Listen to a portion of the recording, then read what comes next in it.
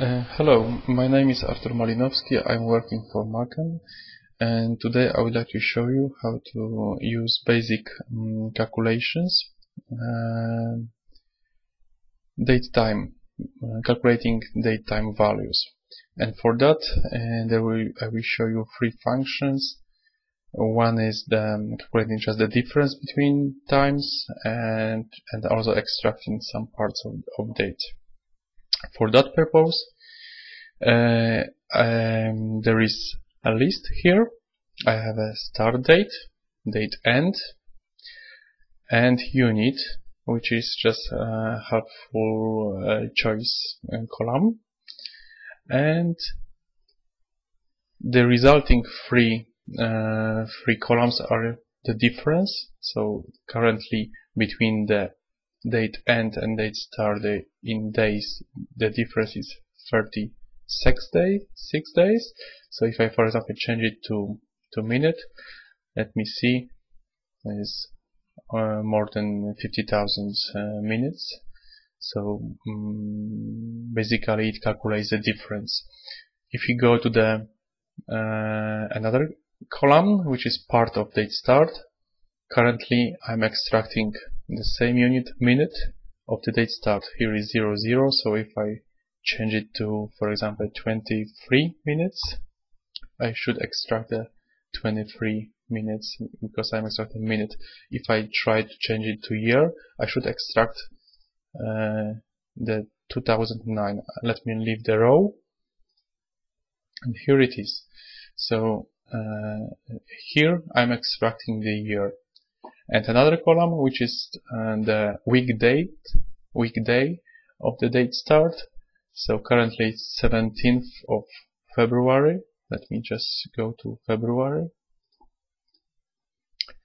Uh, 17th is here. So 17th as Tuesday it's it's free. So if I for example change it to 6 so basically I can uh, here I see that 14th is 7 so starting from 1 to 7 is always a correct week date. And how it was built? Let me just show you how it was built.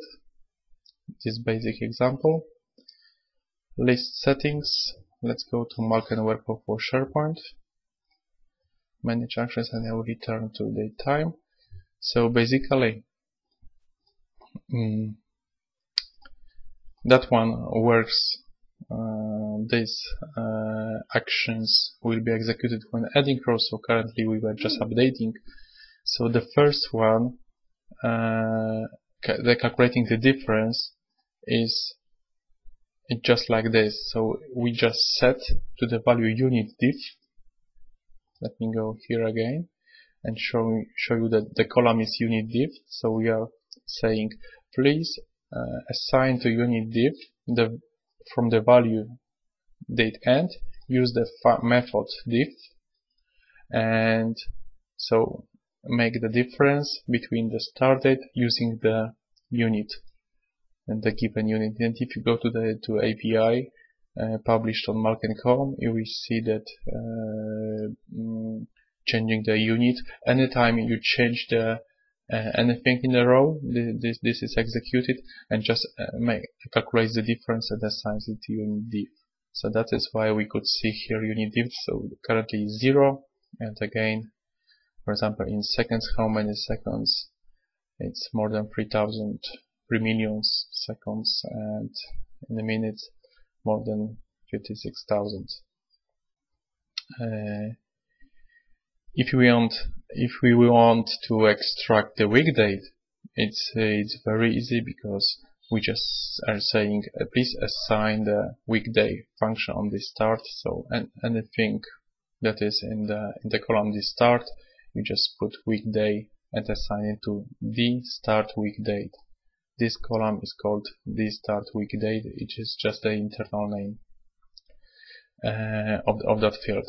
And again if we want to extract part-time only, we just use the function date part on the datetime column, the start, and assign it to title.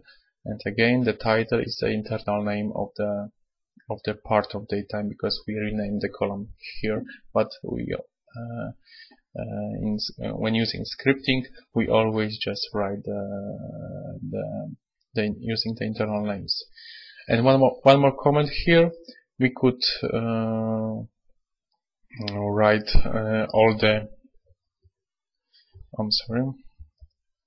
We could uh, write all the set commands one after other just in one row. So just for my convenience uh, uh, so we could write it like that. And just let me copy this.